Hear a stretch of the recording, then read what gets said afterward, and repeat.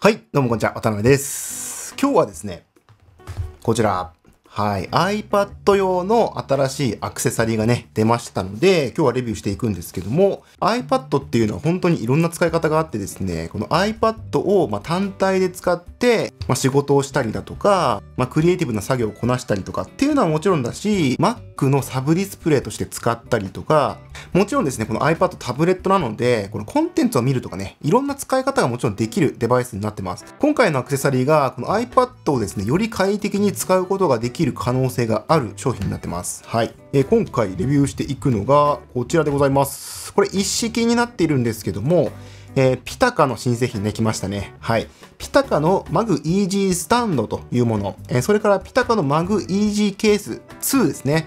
えこれ以前ですね、1、え紹介したことがあります。この iPad の背面に装着できるケースですね、になっていて、今回の2は、えこちらのピタカのマグイージースタンド、これにですね、直接貼り付けることができる、えケースとなってます。え今回こちらですね、ピタカさんの方がサンプルを送ってくれましたので、え早速ね、開封して、えどんな感じなのか、これからチェックしていきたいと思います。では、行きましょう。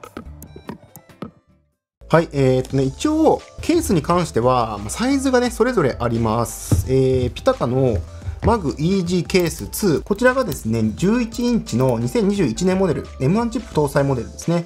で、こちらが12.9インチの2020年モデルになってます。渡辺が今、現役で使っているのが2020年モデルの12.9インチの iPad Pro と、えー2021年モデルの M1 の、えー11インチ。なので今回こちらの2つをですね、えー使っていきます。もちろん新型の2021年モデルの12.9インチ版もありますので、それはもうお使いのね、えー iPad に合わせて、えー適切なサイズのものを選んでいくという形になります。はい。じゃあですね、ケースまず開封していきましょう。ケースを開封するのは11インチだけ開封していきます。はい。えーでは開けていきます。基本的にピタカの、まあ、ケースってね、軽いんですよね。で、今回のこちらも、えーライトウェイトって書いてますので、非常にこれ軽いんだと思います。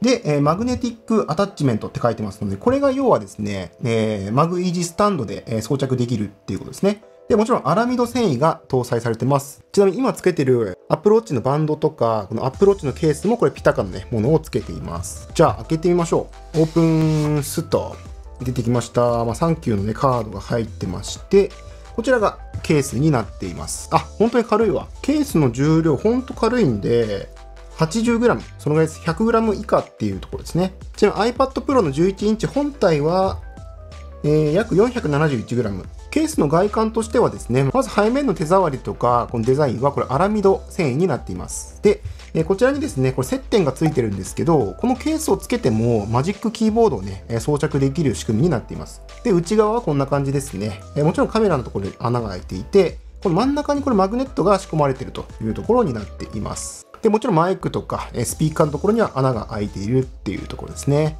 では装着してみましょう。うん、装着すると iPad の外観はね、こちらが、え出ている感じになってますね。Apple Pencil はここにね、装着、そのままケースをつけたままできるようになってます。はい、こんな感じですね、装着すると。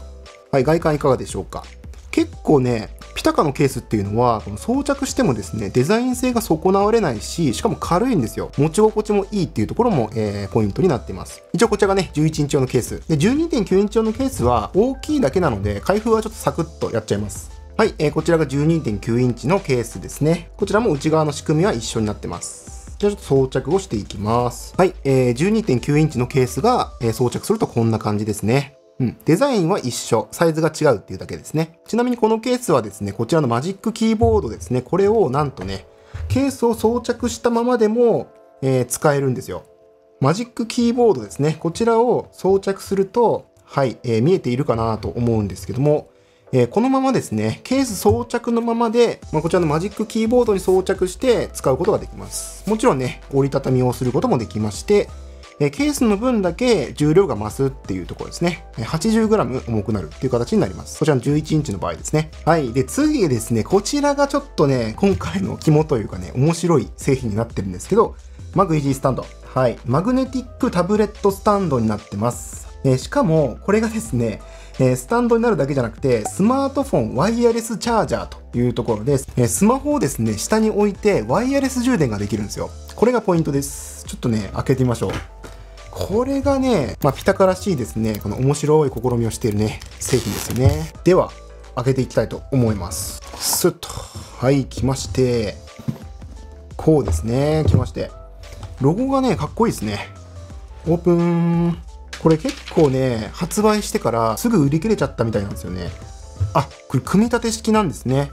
はい。まあ、こちらがおそらく土台とワイヤレス充電が、ま兼ねられたものですね。ピタカのロゴがね、入ってますね。はい。で、こちらが、えー、スタンドになる部分。で、この土台の、えワイヤレスチャージャーのところに装着していくと。で、これネジ止めがね、必要ですね。こちらにネジがついているので、固定していきましょうというところですね。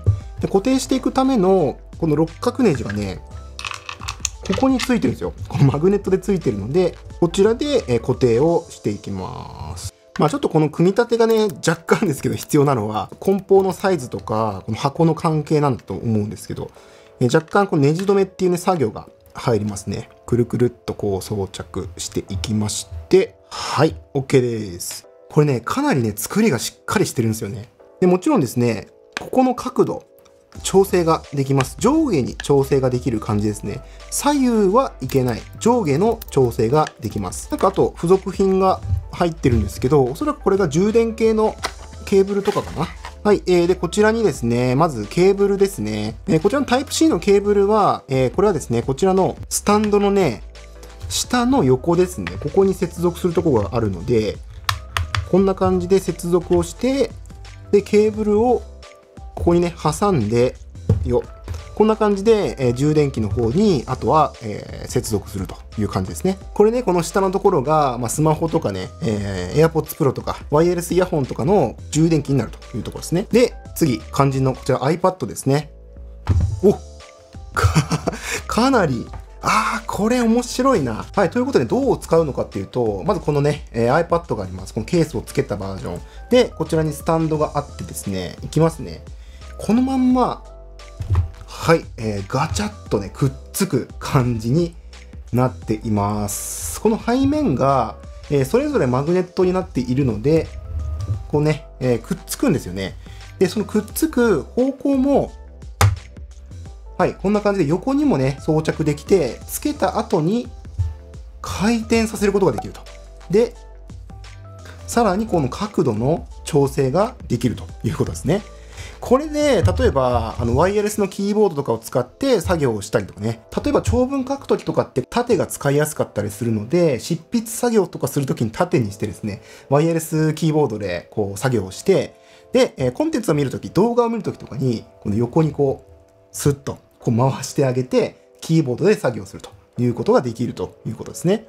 すごくないですか？これ。で、持ち出したいときは、こう、パッとすぐ外して使える。で、基本的にこのスタンドっていうのは、あの、自宅にね、固定して置いておくものだと思います。あんまり持ち運ぶものじゃないと思うので、例えばデスクの上とかに置いといて、まあ、デスクでこの iPad をお供に使いたいときは、このままね、装着をこうしますと。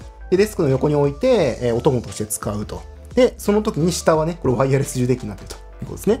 で、持ち運びたい時は、こう外して、えケースはこのままの状態で、えー、マジックキーボード、こちら付けられるので、こう Magic Keyboard をこう開けて、こうつけると。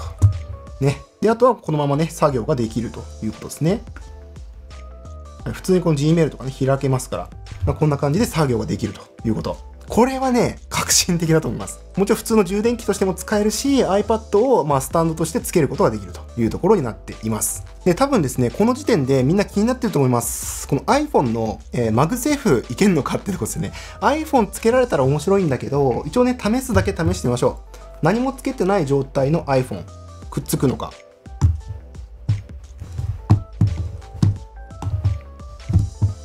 若干ね、くっつく感じはあるんですけど、ちょっと安定しないです。なので iPhone はこのままここにつけることはできないです。ただこの下に置いてですね、えー、充電することはできるっていうところ。基本的にこれはもう iPad 用のスタンド兼、えー、ワイヤレス充電器っていうところになってます。はい、えー、ということで今日はですね、またピタカからね、ちょっと面白い商品が出たので、早速開封して紹介してみました。えー、これはですね、デザイン的にもスタイリッシュですし、スタンドのデザイン的にもスタイリッシュだし、まあ複数のね、iPad とかを使っている場合でも、えー、簡単に、ね、脱着ができるっていうところも面白いし、ケースに関してはマジックキーボードとの互換性もあるので、えー、そこはすごくいいかなと思います。ただね、一つ注意点としては、えー、ロジクールのこのコンボタッチのカバーとか、そういったものを使っている方は、えー、もちろんなんですが、このケースの上にこのケースをつけて使うことはできないので、マジックキーボードをそもそも使ってなくて、ロジクールのコンボタッチとか、ま、他のケース付きのキーボードを使っている方は、併用ができない、え、可能性があるというところはご注意ください。まあ、基本的に、まあ、iPad とマジックキーボードを、え、使っていて、なおかつ、こう脱着がね、簡単にできる、この iPad のスタンドとして、こう、使ってみたいよっていう方はね、すごくいいのかなと思います。特に角度も調整できるのがいいですね。うん。えー、ぜひ参考にしてみてください。ということで、えー、今日の動画は以上になります。この動画が良かったら高評価、それからチャンネル登録お願いします。ではまた次の動画でお会いしましょう。さよなら。